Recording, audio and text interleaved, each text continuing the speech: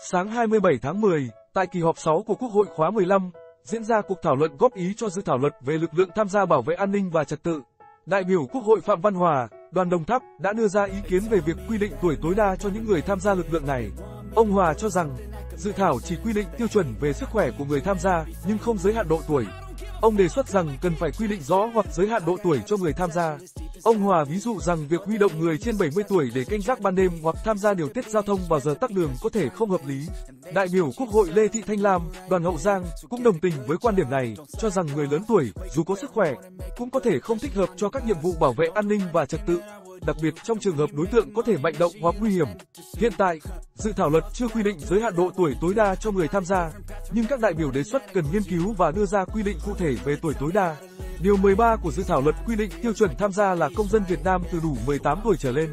Đại biểu đoàn Hậu Giang cũng đề xuất mở rộng quyền hạn của lực lượng tham gia bảo vệ an ninh và trật tự ở cơ sở và cân nhắc việc chi trả chính sách cho họ bằng mức lương cụ thể hoặc hệ số lương phù hợp.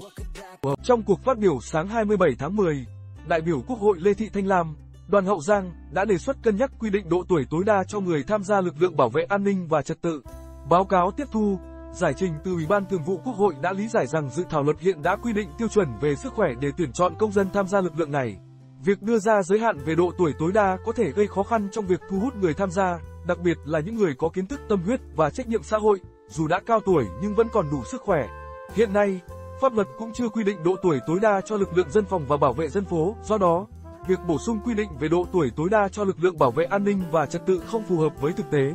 Để đảm bảo sức khỏe của người tham gia lực lượng, Ủy ban Thường vụ Quốc hội đã chỉ đạo bổ sung quy định cho phép ngừng tham gia lực lượng trong trường hợp không đảm bảo sức khỏe. Thường vụ Quốc hội cũng lưu ý đánh giá tổ chức và ngân sách khi thành lập lực lượng, để đảm bảo rằng việc huy động người tham gia không chỉ giới hạn 300.000 người như trình bày ban đầu mà còn tăng kinh phí và ngân sách. Hiện có gần 300.000 người tham gia lực lượng bảo vệ dân phố và công an xã bán chuyên trách trên toàn quốc, với ngân sách khoảng 3.570 tỷ đồng mỗi năm để chi trả lương cơ sở.